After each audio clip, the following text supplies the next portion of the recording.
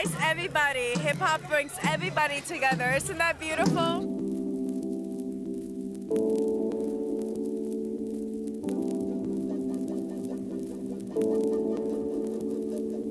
What actually came to me first was rhyming, and I would just be spitting for hours, hours in ciphers, you know what I'm saying? And it just, it, the love in me just grew. Like hip hop is developing different categories. Like when you have jazz, you have new wave, you have your bebop. Now hip hop, you may have your poppy, mainstream hip hop, underground hip hop. It's, it's growing. The new cast, man, the new cast is inspiring too. Uh, Curren$y, for instance. What's cool about German hip hop is that there's a certain underground culture developing. Samy Deluxe, check him out, he's cool. Samy Deluxe, good raps, real nice beats. He's been in the game forever. Samy Deluxe. Olli Banjo. Kool Savas, real nice spitter. My opinion, London, bam. We don't show love to each other out here. You know what I'm saying? It's like it's like it's like UK basketball. I don't watch it. I know you don't watch it. So far as I'm concerned, people look at UK hip hop like it's American and, and it's not real. Going around the world, it has enabled me to touch down in many communities and change what people think about hip hop music. I'm Yarah Bravo, aka Little Miss B.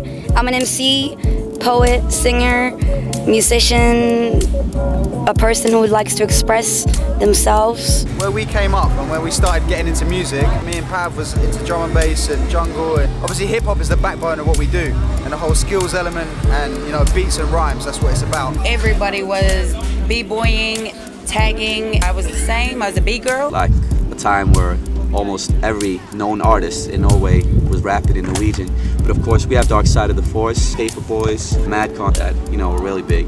Take two, take two.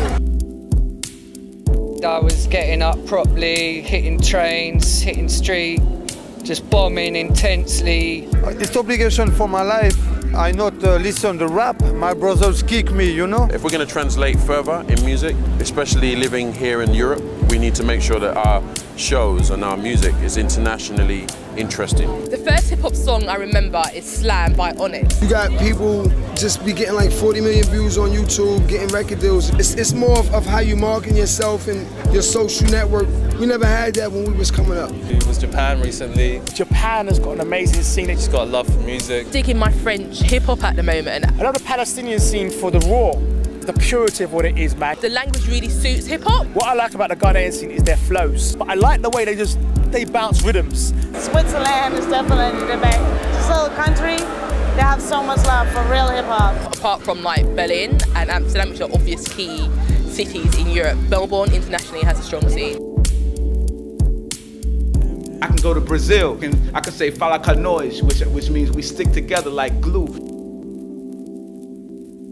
And I can also say it's bigger than hip hop.